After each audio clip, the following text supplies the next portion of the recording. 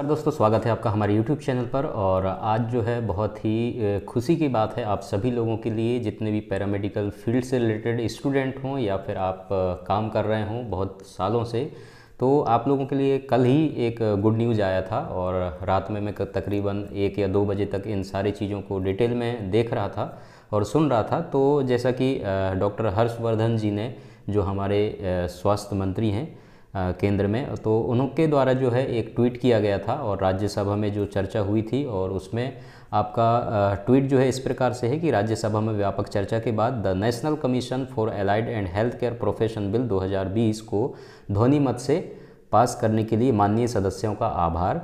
इस बिल के दायरे में स्वास्थ्य सेवा से जुड़े स्वास्थ्य कर्मियों को शामिल कर उनके पंजीकरण को अनिवार्य किया गया है।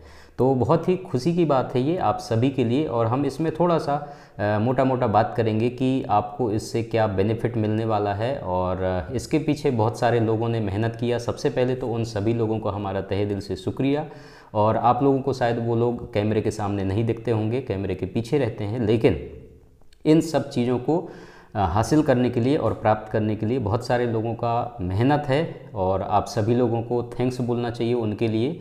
कि आप आने वाले जितनी पीढ़ी है या स्टूडेंट हैं जो आने वाले समय में इस पैरामेडिकल फ़ील्ड से रिलेटेड कोई भी कोर्स यदि कर रहे हैं तो उनके लिए इतना एक बेसिक जो है उनके लिए एक फाउंडेशन तैयार होकर के मिलेगा, जिसके द्वारा वो पढ़ाई करके और अच्छे मुकाम तक पहुँच सकते हैं। तो ये उनके लिए एक बहुत ही खुशी की बात है, क्योंकि बहुत सालों से ऐसा चलते आ रहा है कि कुछ लोग जो है इस फ़ील्ड में जितने लोग काम कर रहे हैं हेल्थ डिपार्टमेंट में, ऐसे कितने सारे लोग हैं जो केवल काम सीख करके अभी काम कर रहे हैं बहुत पहले से, और उनके पास केवल सर्टिफिकेट या डिप्लोमा जो है अवेलेबल है, और वो भी उस समय पढ़ाई तरीके से नहीं होता था, केवल काम सीख करके उनको काम कराया जाता था। तो अभी आने वाले समय में धीरे धीरे परिवर्तन तो हो रहा था, लेकिन बहुत सारे पैरामेडिकल कॉलेज ओपन हो रहे हैं जगह जगह और कितने फर्जी भी पैरामेडिकल कॉलेज हैं और कितने ऐसे स्टेट हैं जहाँ पर पैरामेडिकल काउंसिल तक नहीं है। बच्चे पढ़ाई तो कर लेते हैं, लेकिन उनको रजिस्ट्रेशन नहीं मिलता है, जिसके कारण जॉब उनको नहीं मिल पाता है और उनको मान्यता प्राप्त भी नहीं मिलता है। तो इससे बहुत सारे लोगों को जो है इतना बेनिफिट मिल जाएगा और दूसरा चीज़ ये है कि आपका सबसे बड़ी चीज़ है सम्मान प्राप्त होना जो आपका मेहनत है और जो आप करते हैं काम, उसके लिए आपको सम्मानित किया जाना और आपका वैल्यू रखा जाना, वो सबसे बड़ी बात है। और कल जब चर्चाएँ हो रहे थे तो हम सुन रहे थे कि कोविड काल के दौरान इतने सारे लोगों ने मेहनत किया तो केवल डॉक्टर और नर्सेस का योगदान नहीं है। इसमें पैरामेडिकल फ़ील्ड का सबसे ज़्यादा योगदान है, जिसको हम नज़रअंदाज करते हैं कहीं ना कहीं तो वो सम्मान जो है आप लोगों को मिल रहा है इसके द्वारा। और आने वाले समय में बहुत सारे इसके बेनिफिट हैं तो मैं आपको थोड़ा कुछ इसमें जानकारी दूँगा।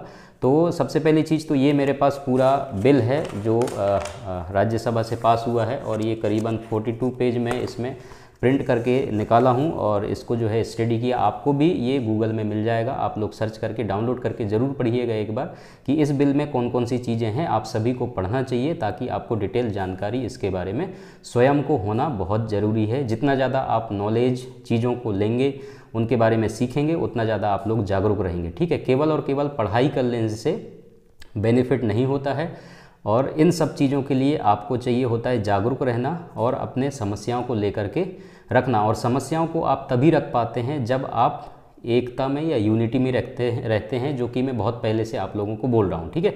तो उसके लिए जो है अभी जितने लोगों ने मेहनत किया है इसके पीछे और उन सभी सम्मानीय लोगों का हम तहे दिल से शुक्रिया करते हैं और अलग अलग जो हमारे फ़ील्ड में आप लोगों को देखने को मिलता होगा कि राष्ट्रीय स्तर पर और राज्य स्तर पर अलग अलग एसोसिएशंस बने हुए हैं।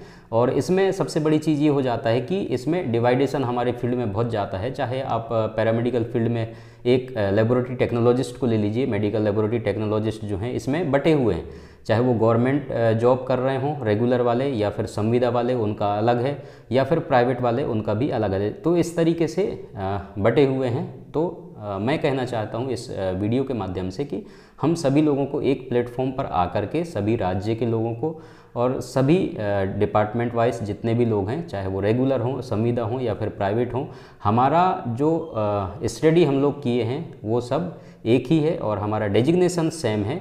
तो इसलिए जो है, हमें अगर कुछ बात किसी के सामने सम्मुख प्रस्तुत करना है तो उसके लिए है ये होना चाहिए कि हमारा एकता होना बहुत ज़रूरी है, जिसके वजह से हम किसी के सामने अपना बात जो है आसानी से रख सकते हैं। तो ये चीज़ होना बहुत ज़रूरी है और इसके लिए ये नहीं है कि नेगेटिव पॉइंट निकाल करके आप लेकर आइए कि इसकी ज़रूरत जो है केवल लड़ाई करने के लिए नहीं होता है। हमें जो है शांतिपूर्ण तरीके से हर एक चीज़ों को, क्योंकि हम एजुकेटेड लोग हैं और अगर कोई बात हम हम, हमारे पास कोई समस्या है तो उसको हम अच्छे तरीके से प्रेजेंटेशन दे सकते हैं किसी के थ्रू तो उसके लिए एसोसिएशंस का होना और मज़बूत संगठन का होना बहुत ज़रूरी है। तो इसके लिए जो है मैं आपसे आग्रह करूँगा कि हमारे जो जे एफ़ इंडिया के national association for M L T and lab owners जो हैं तो इसमें मैं पहले भी आप लोगों को बोला था और, अभी भी बोल रहा हूँ कि इसमें नेशनल जनरल सेक्रेटरी हमारे कुमार संतोष यादव जी हैं।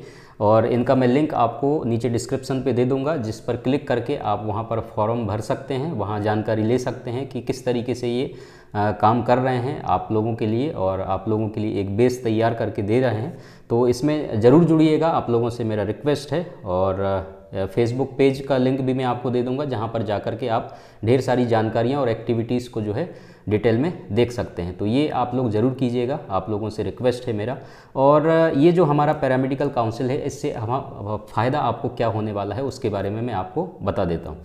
तो जैसे कि अभी आप देख रहे होंगे अलग अलग स्टेट में पैरामेडिकल काउंसिल कुछ स्टेट में बने हुए हैं, कुछ जगह पर नहीं बने हैं। तो अब आपको नेशनल लेवल पर जब काउंसिल का गठन हो जाएगा तो उससे आपको सभी को बहुत सारा बेनिफिट मिलेगा। सब लोगों का रजिस्ट्रेशन हो जाएगा। और रजिस्ट्रेशन होने से आपको मान्यता ऑल इंडिया में, इसके अलावा विदेश में भी आपको एक मान्यता मिल जाएगा और एक सम्मान का दर्जा दिया जाएगा। सबसे पहले चीज़ तो फर्जी इंस्टीट्यूट इनको जो है कोई भी ओपन नहीं कर पाएगा। कोई भी मिस्टेक या गलती करता है तो उसमें भी पेनाल्टी रखा गया है इसमें तो उसकी भी संभावना इसमें नहीं रहेगा। इस बात का जो है इसमें प्लस पॉइंट है। उसके अलावा सिलेबस आपका सभी का एक ही होगा और उसके अलावा फ़ीस भी इसमें डिसाइड किए जाएँगे जो काउंसिल में आपके सदस्य होंगे। वो निर्णय लेंगे किस तरीके से आपका सिलेबस होना चाहिए और किस तरीके से आपकी एक्टिविटीज़ कॉलेज या इंस्टीट्यूट या आपके जो भी यूनिवर्सिटी है, उनमें होना चाहिए। और फैसिलिटी क्या क्या कंपलसरी होना चाहिए, वो सारी चीज़ों को इसमें देखा जाएगा।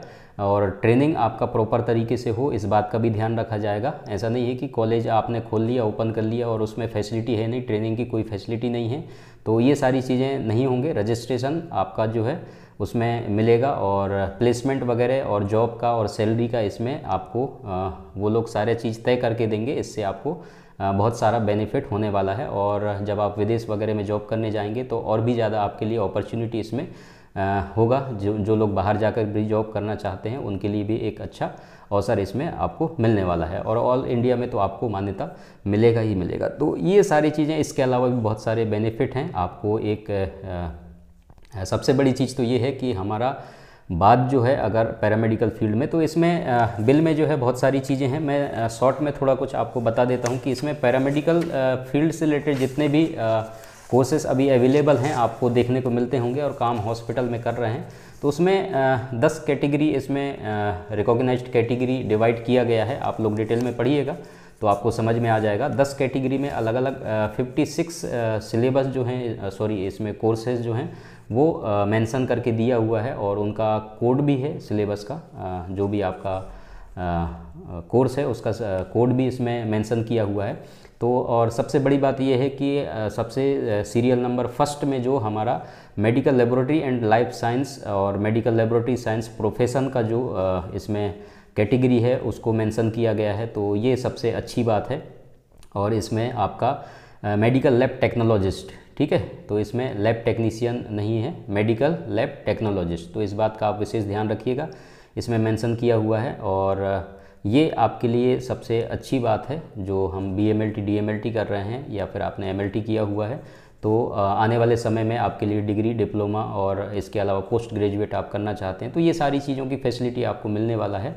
तो बहुत ही अच्छी बात है, इस बिल को आप एक बार ज़रूर पढ़िएगा ताकि आपको डिटेल में समझ में आ सके। इसके अलावा भी बाकी अलग अलग कोर्सेस हैं, उनको मैं अभी इस वीडियो में नहीं बता रहा हूँ, आप लोग इसको डाउनलोड करके पढ़िएगा ताकि आपको समझ में आ सके कौन कौन से कोर्स इसमें मैंसन किए गए हैं। दस कैटेगरी हैं 56 आपके कोर्सेस इसमें अवेलेबल हो जाते हैं जिनको इसमें मेंशन किया गया है जो कि बहुत ही महत्वपूर्ण योगदान हमारे हेल्थ हेल्थ इंफ्रास्ट्रक्चर को मज़बूत बनाने के लिए इनका सभी का योगदान होता है। तो आ, खुशी की बात है चलिए अच्छी बात है और आप सभी लोगों को आ, शुक्रिया धन्यवाद जिन लोगों ने मिलकर के जो है इन सारी चीज़ों के लिए योगदान किया है चाहे डायरेक्टली हो इनडायरेक्टली हो आप सभी लोगों का शुक्रिया धन्यवाद। इसी तरीके से हम लोग आगे बढ़ते रहें और अपने देश के लिए सहयोग करें।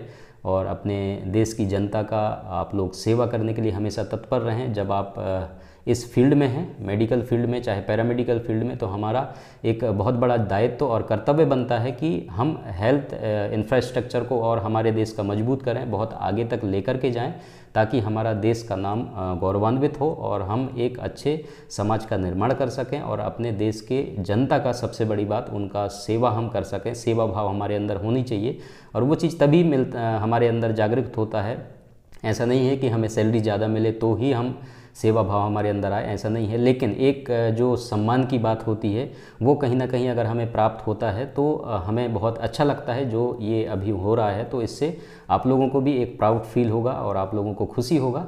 और जिसके वजह से आप और अच्छे तरीके से और पूरे जोश के साथ आप मेहनत करेंगे, काम करेंगे, पढ़ाई करेंगे, मन लगा करके चीज़ों को सीखेंगे और फैसिलिटी आप लोगों के लिए मिलेगा। ये सारी चीज़ें तो आपका भी मन लगेगा, क्योंकि अभी ऐसा होता था, एक सोच रहता था कि ये फ़ील्ड में जाने से कोई फ़ायदा नहीं है, कुछ स्कोप नहीं है। ये सारी मैंटलिटी होता था लोगों का तो अब जो पीढ़ी आएगा, उनको नई जनरेशन जो आएगा, उन लोगों के लिए ये सारी चीज़ें अवेलेबल होगा तो उनको थोड़ा सा एक इस फ़ील्ड में भरोसा होगा और अच्छे से वो लोग आकर के सीखेंगे चीज़ों को और अपने देश के लिए सहयोग करेंगे सेवा भाव के साथ। तो यही इस वीडियो में मुझे बताना था। बाकी आप डिटेल इनके बारे में ज़रूर एक बार पढ़िएगा। इस बिल को एक बार डाउनलोड करके पढ़िए।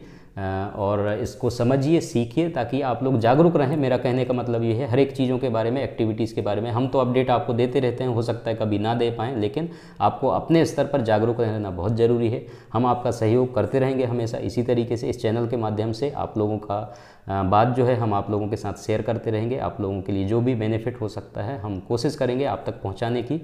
और कोई जानकारी है इम्पोर्टेंट तो वो भी हम आप तक पहुंचाते रहते हैं इस चैनल के माध्यम से। तो हमारे साथ ज़रूर बने रहिएगा। चैनल को सब्सक्राइब करके रखिए शेयर कीजिए अपने दोस्तों में। और मैं क्लासेस वगैरह और कंपटीशन एग्ज़ाम की तैयारी भी कराता हूँ। मेरा सेकंड चैनल है दिनेश कुमार के नाम पर। बुक्स वगैरह चाहिए तो उसका आपको डिस्क्रिप्शन पे लिंक मिल जाएगा। वहाँ से आप ऑर्डर कर सकते हैं। और वो फॉर्म ज़रूर भरिए जो मैंने आपसे बोला है। डिस्क्रिप्शन पर आपको लिंक मिल जाएगा। वहाँ जा करके आप एक बार ओपन करके ज़रूर चेक कीजिएगा। Thank you so much